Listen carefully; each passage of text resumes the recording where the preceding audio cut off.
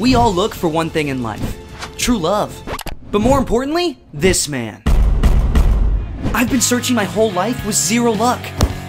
Shh! But this year, I'm going to find him. I went around town placing flyers everywhere I could, and even personally asked people Have you seen this man? Oh, I can't read. Well, it's a photo, so you don't. It's over there. What the? Why did he have a lizard? Have you seen this man? No, but he's kind of cute.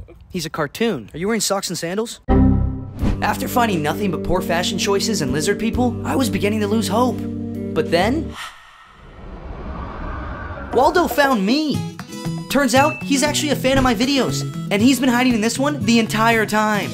Subscribe if you think you spotted him.